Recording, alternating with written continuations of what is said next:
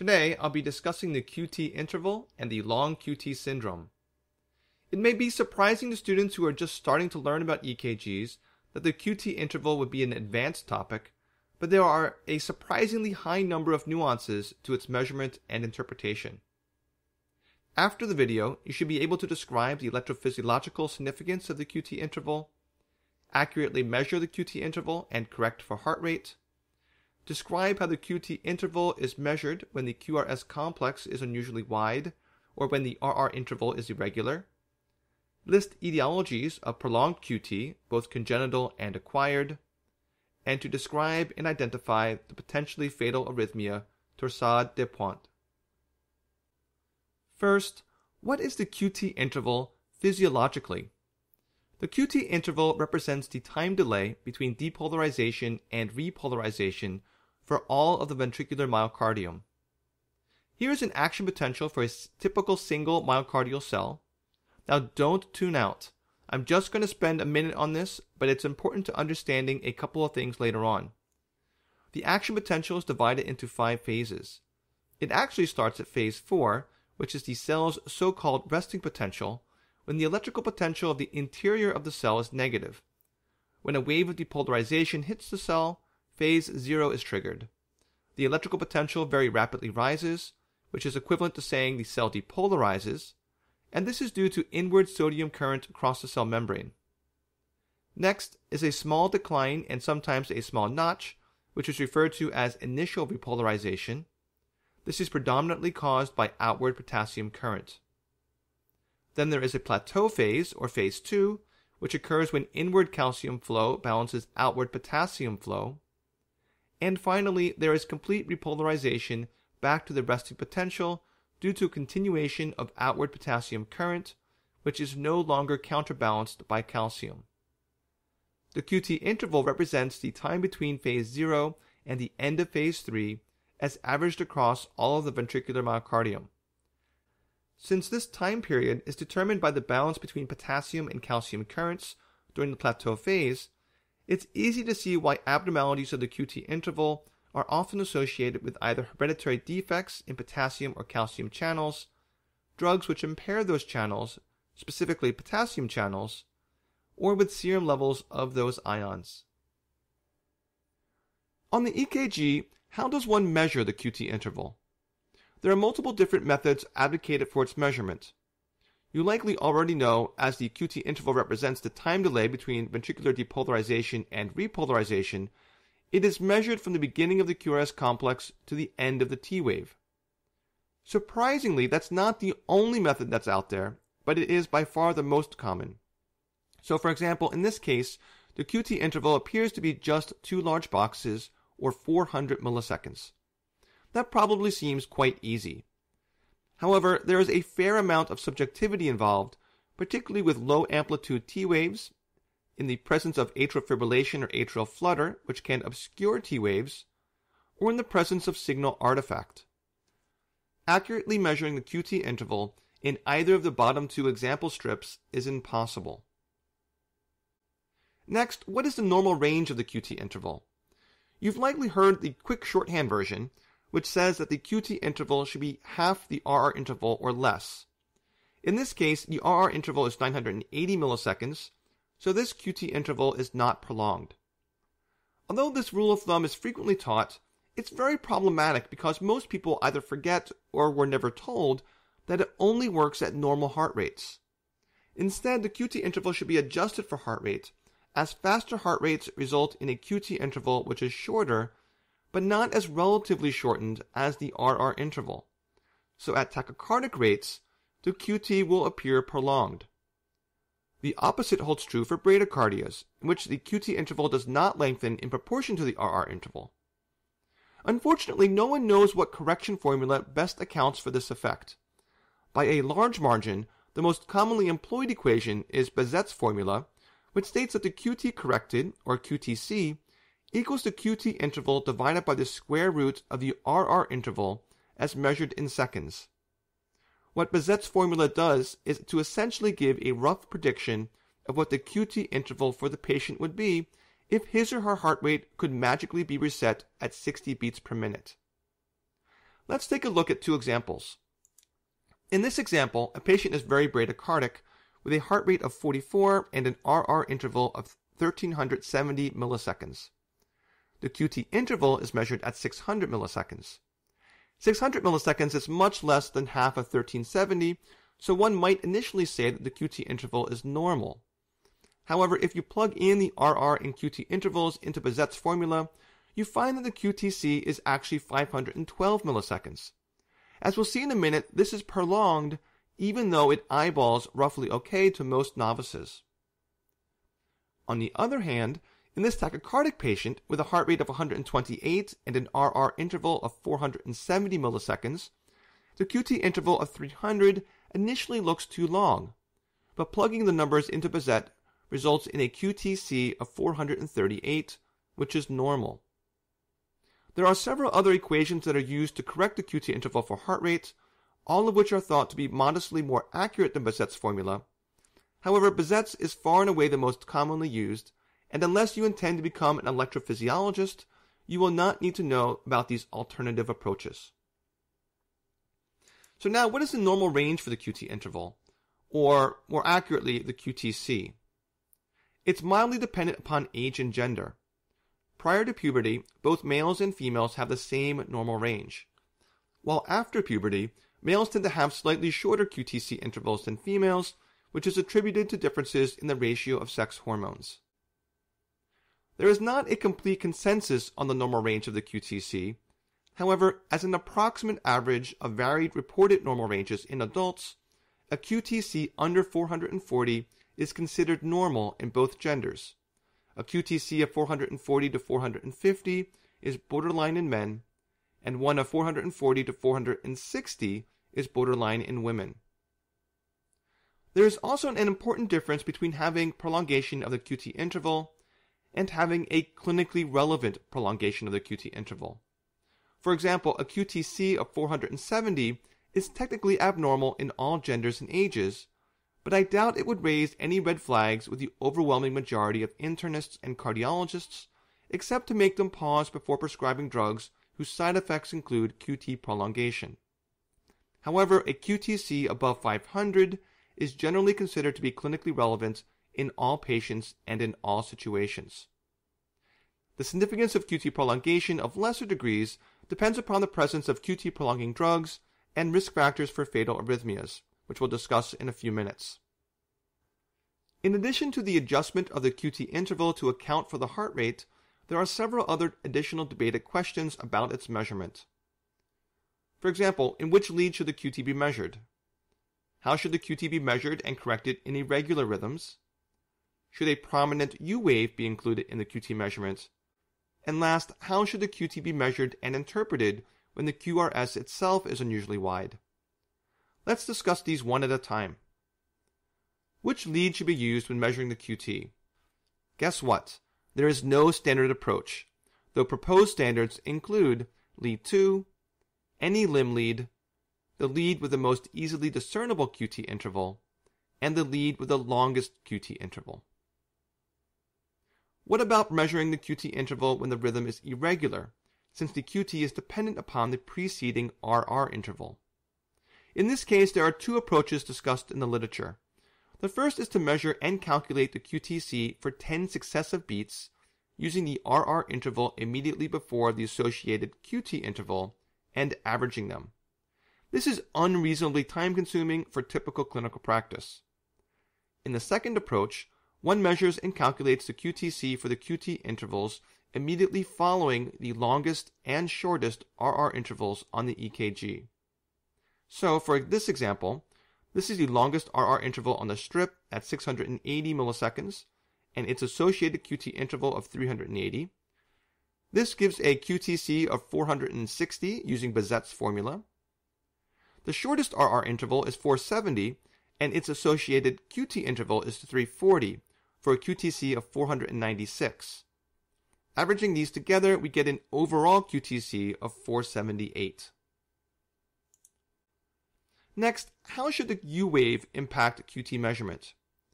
If the U wave is distinct from the T wave and much smaller in size, most cardiologists do not include it in the measurement of the QT interval.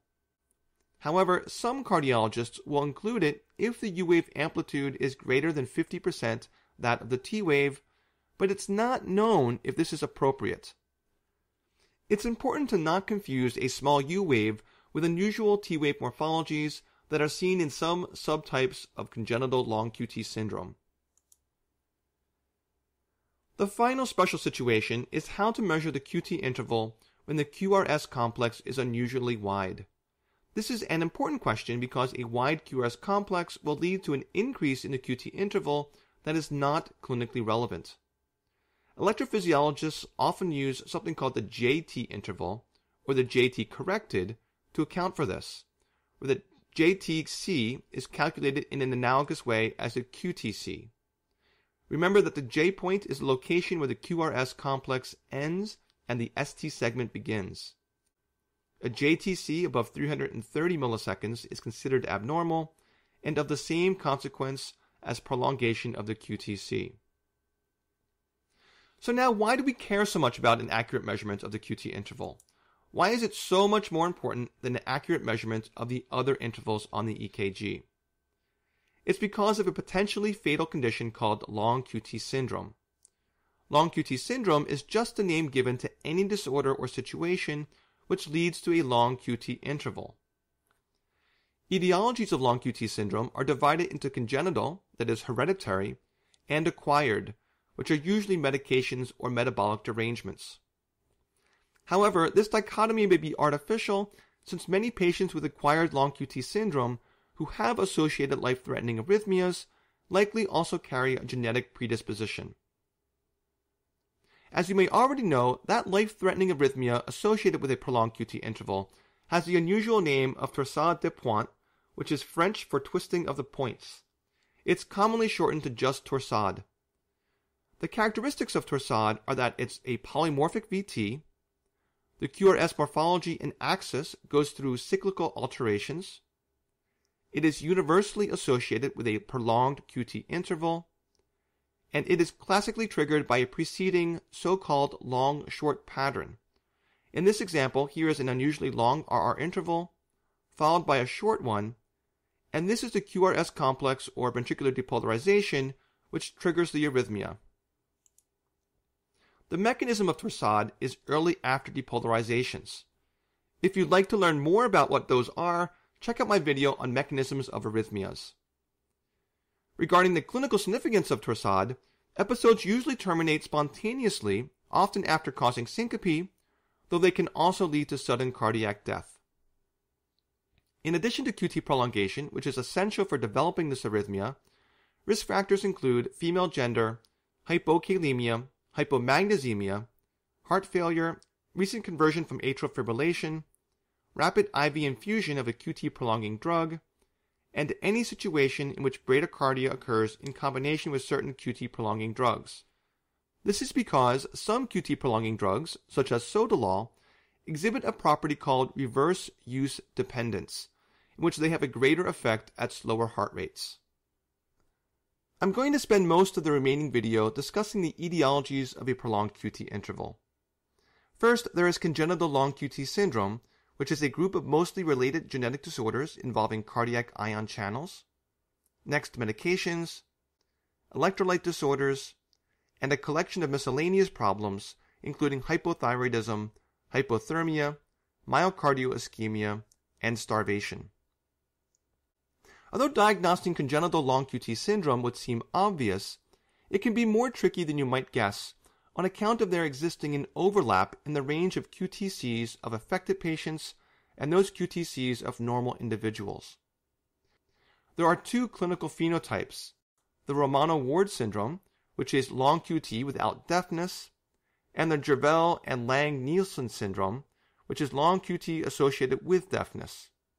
In practice, almost no one uses the term Romano Ward, and instead stating that a patient has congenital long QT syndrome implies that it's the Romano Ward phenotype. There are at least 13 distinct genotypes which are designated LQT types 1 to 13. Most of these genotypes are a loss of function mutation in one of several cardiac potassium channels. LQT1, LQT2, and LQT3 account for most cases. The inherited neurodevelopmental disorder Rett syndrome is also associated with a prolonged QT interval. However, the effective protein of Rett syndrome is not an ion channel, and the explanation for the association is not well understood, though it is believed to be generally due to abnormal autonomic regulation. Here are some of the details of LQT1 through 3, which I'm not going to read through individually. I will point out two interesting features of them, however. First, LQT3 does not affect the potassium channel, but rather a voltage gated sodium channel that's the same protein that's defective in the Brugada syndrome, which is discussed in another video. Second, the most common trigger for Torsade is different in different genotypes. In LQT1, it's exercise. In LQT2, it's emotional stress. And in LQT3, it's sleep.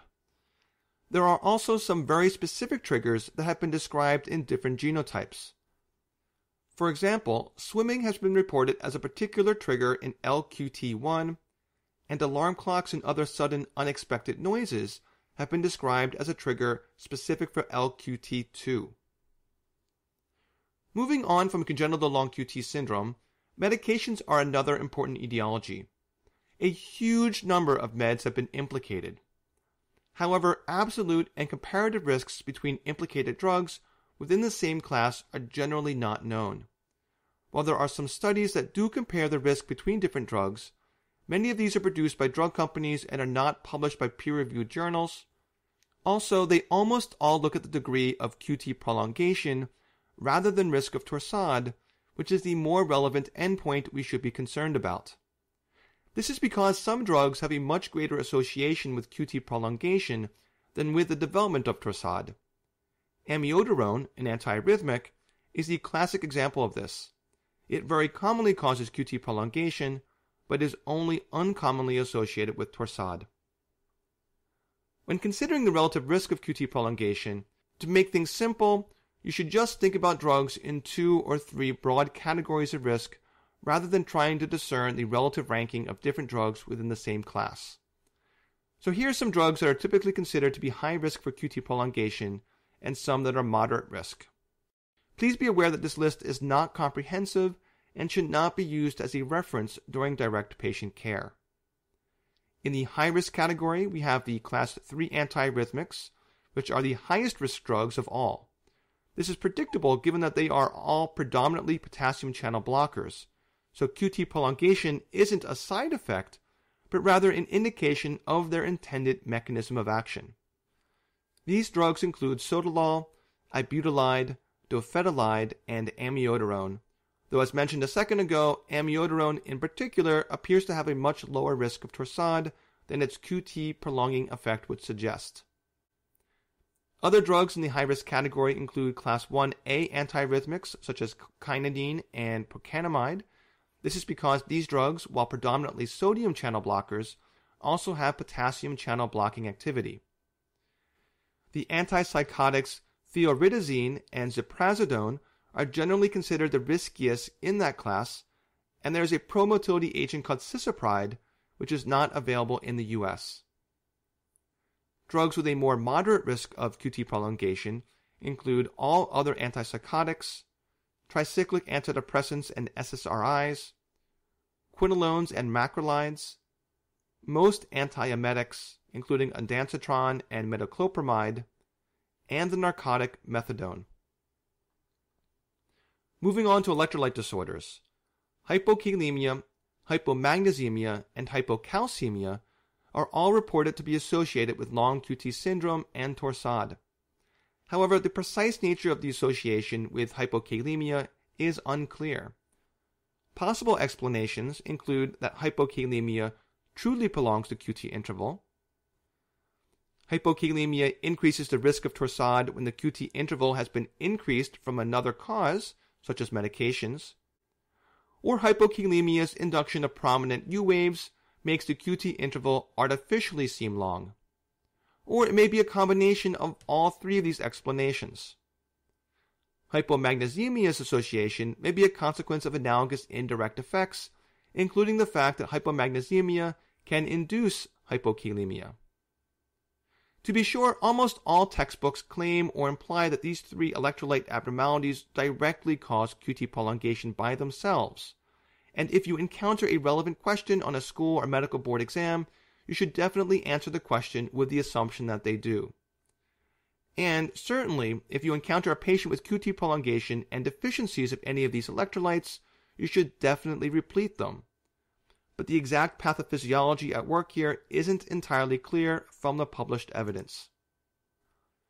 I wanted to specifically show you an example of the QT prolongation caused by hypocalcemia, since there is something unique about it.